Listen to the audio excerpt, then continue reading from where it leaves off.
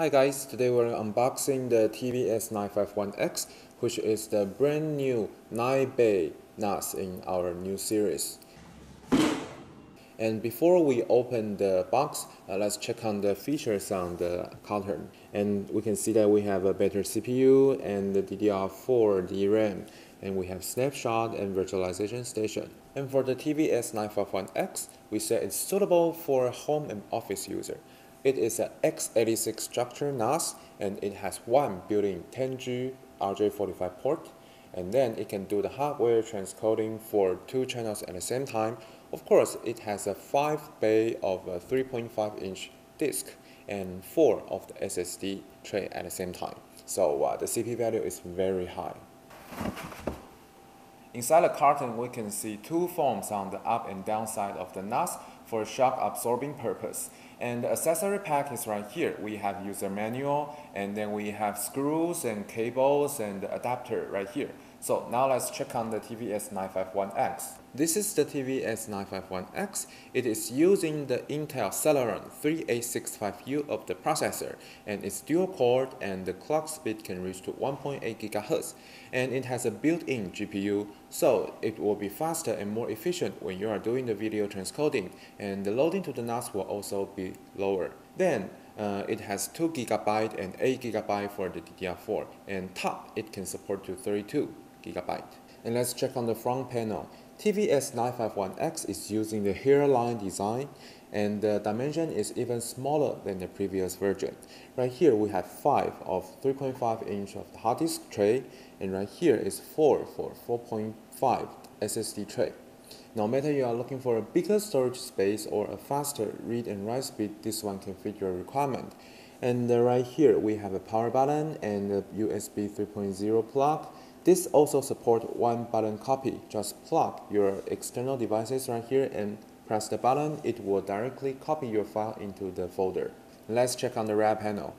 This is the built-in speaker and 3.5mm audio output. And here's the most important thing, the 10 gig RJ45 internet port and here is for the 1 gig. And here is the HDMI output that you can display 4K video. And for here we have three USB 3.0 plug here and here's the DC jack. For here is our smart fan.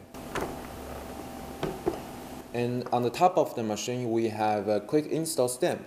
After your NAS connected into the internet, you can just use your mobile phone and scan the QR code. Then you have done the settings. Let's check on the test. For one 10GB file, 10G ports takes around 13 seconds, but for 1G, it's only at around 15%. The difference comes greater under a larger files. So how can we make our work team to have a 10 gigs transmission speed? It's very easy. You just use our Q switch QSW1208AC or A044C with our QXG 10G1T card and that will be. Okay, now we have all know how to upgrade the internet speed. Then let's talk about how to upgrade the read and write speed of the NAS itself. Let's check on here. We have four SSD tray, so we have two solutions for you. First, use the SSD as cache. And the second is use the QNAP exclusive function, QTIER function to speed up your read and write speed. So we all know that as SSD cache, it will enhance your read and write speed in the SSD, but the storage space will be sacrificed, which is a kind of waste. So the QTIER function is not only that you can use the SSD as cache, you can also use the storage space from the SSD which will give you a larger storage space. So since the processor has the built-in GPU, let's talk about how it works. While doing the video transcoding from high resolution to lower resolution, the GPU will take most of the jobs, so uh, the NAS loading will be less. So if you are going to see the videos through your remote devices such as cell phone or tablet, or you just want to use the HDMI output into the monitor, the GPU will help a lot. And then at the same time, you can still use the CPU loading to do the other jobs. Then let's talk about snapshot.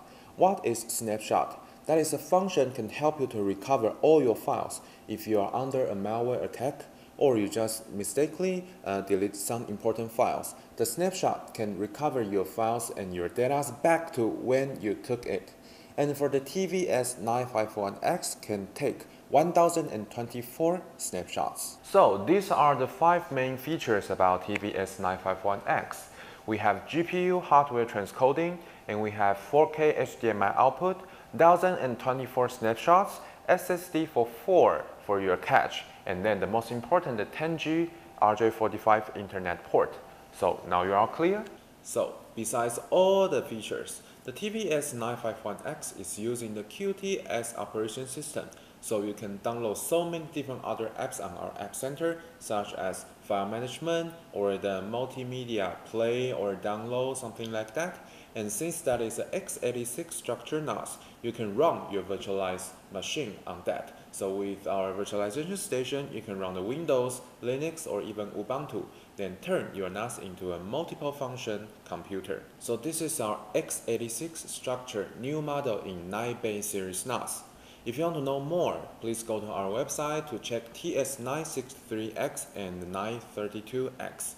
So uh, this is all the information about the TVS 951X of the unboxing. We hope you like it. And don't forget to subscribe our channel. We will see you next time in NAS unboxing. Bye bye.